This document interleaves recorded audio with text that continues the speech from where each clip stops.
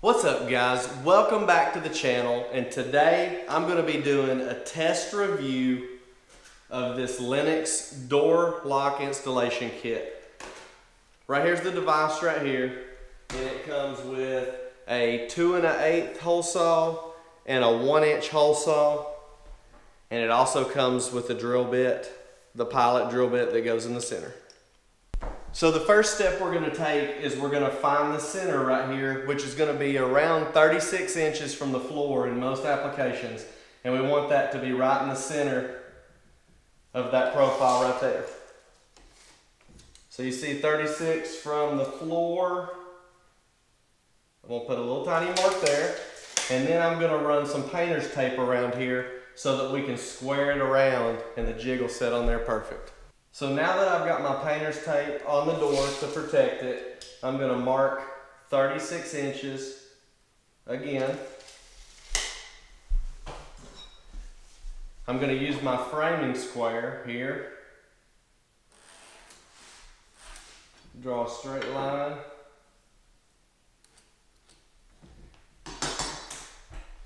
The first thing you want to determine when setting your jig up is your door thickness and how far back you want your doorknob to set. This jig right here will set at inch and 3 eighths door thickness and inch and 3 quarter door thickness. And it will also set at 2 and 3 eighths back or 2 and 3 quarter back, which is for exterior doors in most cases. So this piece right here pops out and flips around, sets back in here, and then you can read the readout right here on the thickness of your, uh, of your door. And now I'm ready to install the actual jig on the door. So you're gonna line up, there's a mark here and a mark here that you're gonna line up on your 36 inch mark. And then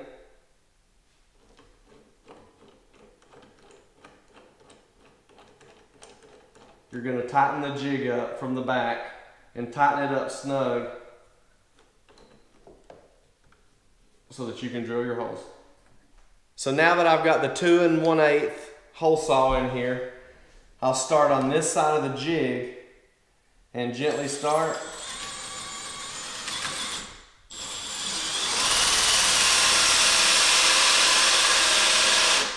Once I drill this through where the pilot hole sticks out the other side, I'm gonna go on the other side of the door and drill the rest through so that we don't blow the finish out on the actual door.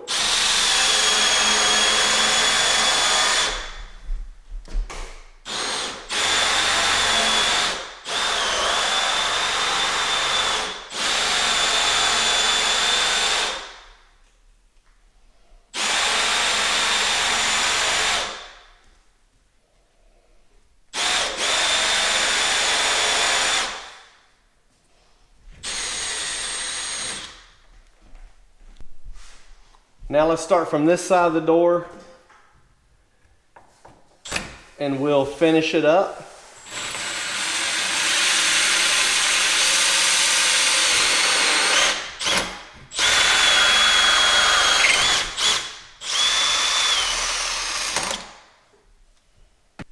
Now that we've got the two and one eighth inch hole drilled, we're gonna get the one inch drill bit ready and we're gonna come in from the front side and go all the way back to the previous hole that we drilled.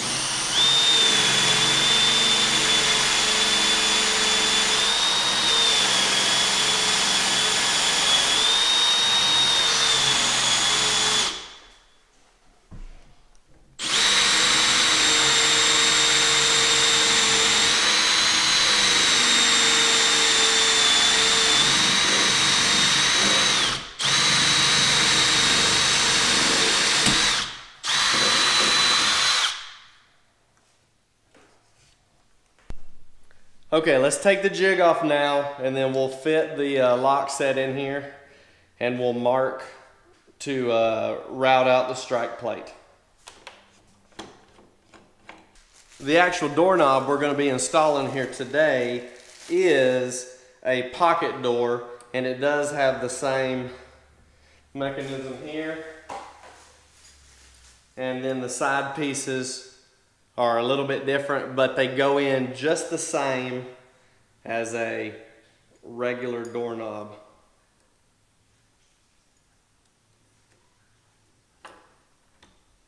So the next step we're gonna do is we're gonna have to mark this out right here and we'll move on to another little tool, just a special little part that I'm gonna add in here for you.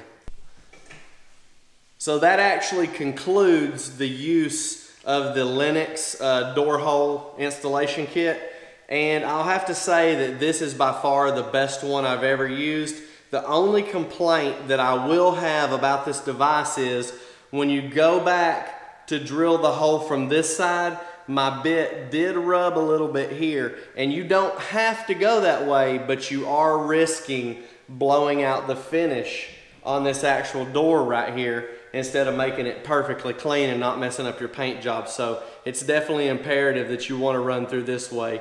And like I said, that did get in the way, but uh, with just a little filing or something, I could fix that. So I'm gonna give this a B plus to an A because it worked almost perfect, but that one little thing is the only thing that I'm gonna give it a little bit less rating for. So now let's move on to the next step of this doorknob installation. So here's the little bonus jig that I'm gonna show you all about today. And what you're gonna do is you're actually gonna mark this out. I'm gonna drill two 332nd inch pilot holes, okay?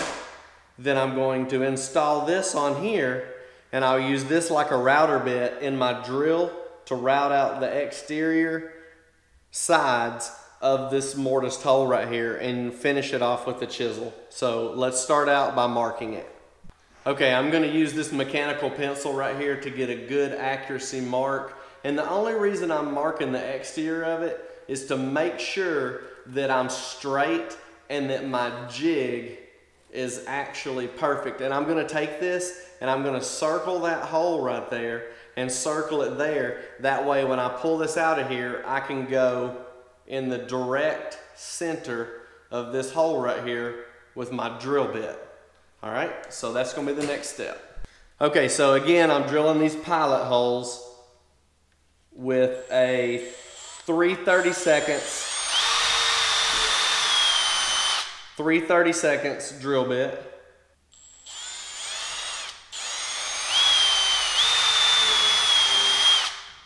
All right. Now I'm gonna take this jig and I'm gonna insert these directly into the 3 32 inch hole. It's gonna make a good tight fit. Now I'm gonna put this little bit right here in. This is like a little drill bit, router bit combo.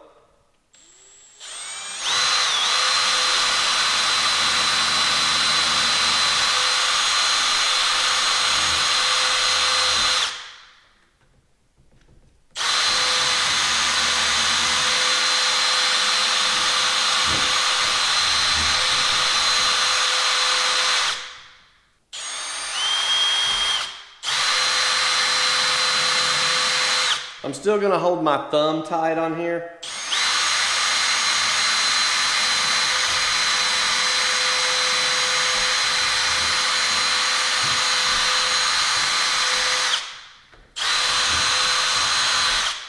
Now, I'm just gonna take my knife right here, kind of pry right behind there to easily pry that out and not break it.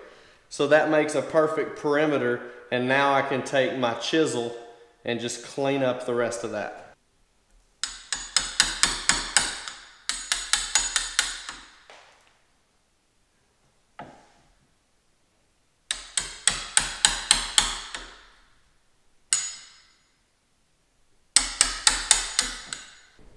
All right, I got the majority of it off right there and this chisel is actually pretty sharp so this is by all means not a uh, fine woodworking chisel. This is an inexpensive Kobalt chisel, but it's decently sharp.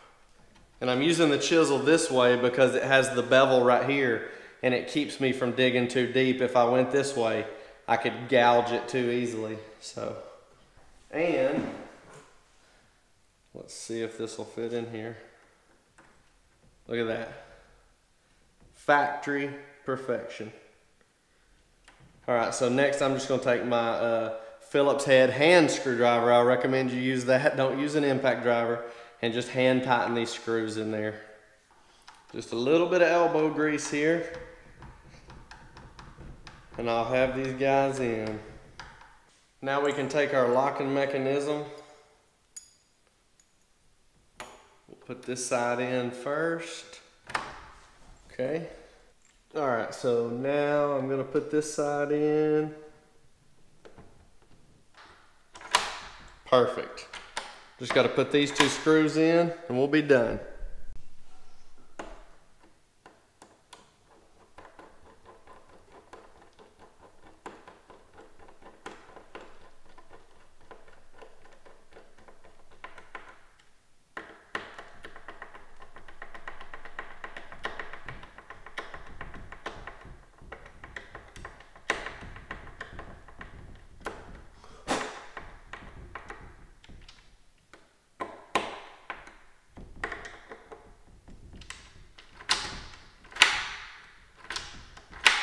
Perfection. Done and installed. Thanks for watching the video, guys. That's all I have for you today. Uh, I uh, hope I was able to help y'all out on installing this pocket door knob. And stay tuned for more videos like this. And I will see you in the next video.